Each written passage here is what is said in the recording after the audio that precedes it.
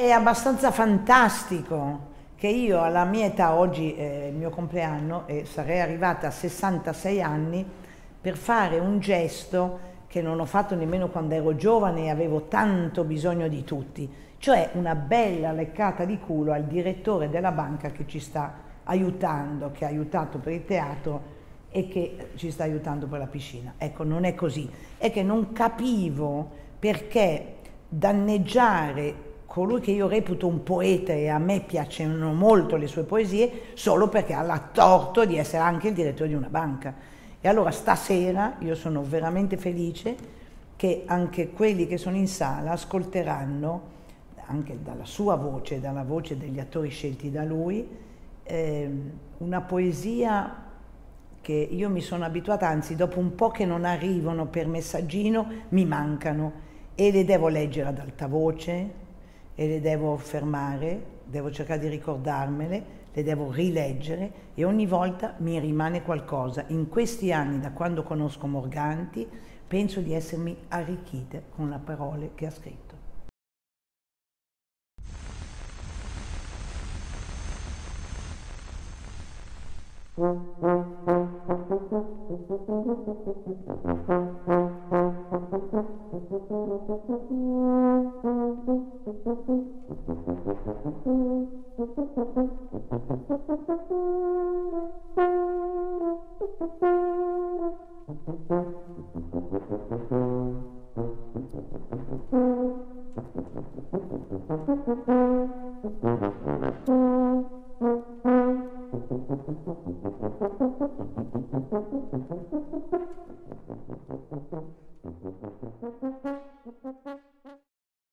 Morganti tira dei sassi, è un po' un ragazzaccio e dici bene, fin qui ne leggi metà, ci divertiamo tutti.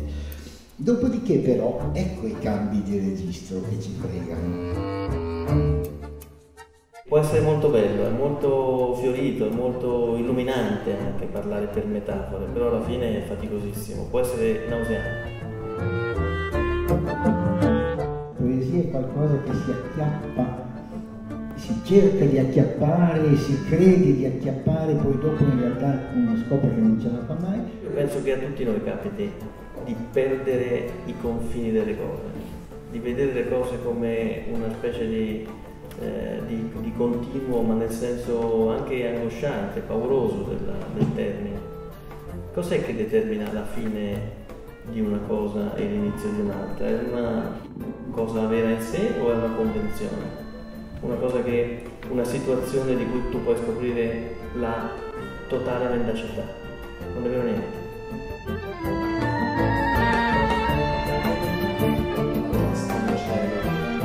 manine che salutano, faccine a globlo.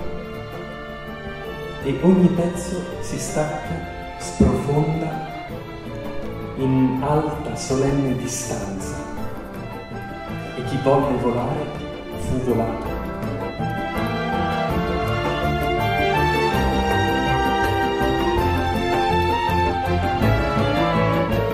C'è un senso di transitorietà e di fine in quello che, che, um, che si fa scrivendo una poesia.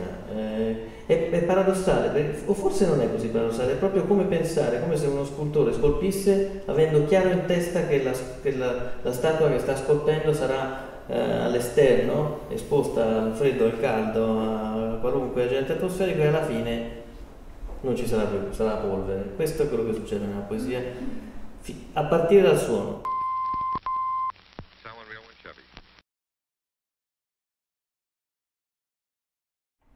Sale piano per piano l'acqua di inchiostro sfatto della sera.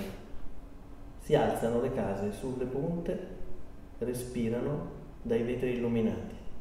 E tu diventi fumo di un camino, rima di luce sul taglio di un tetto e stanza di un ufficio senza grazia, quello che detta e lei triste che scrive. Tu sei in quello che vedo e in me che guardo, la sedia non si è accorta quando ti sei alzata per andare, da quanto eri leggera, eri già aria, parole a voce bassa per le scale.